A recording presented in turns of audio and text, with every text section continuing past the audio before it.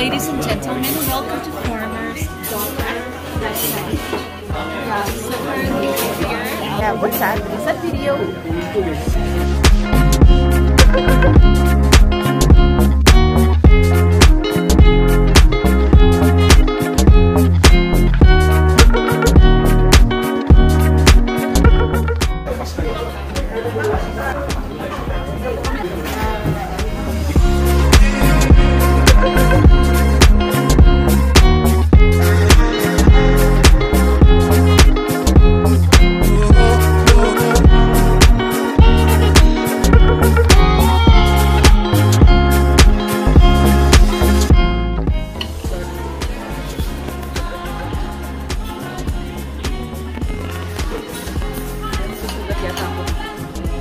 already.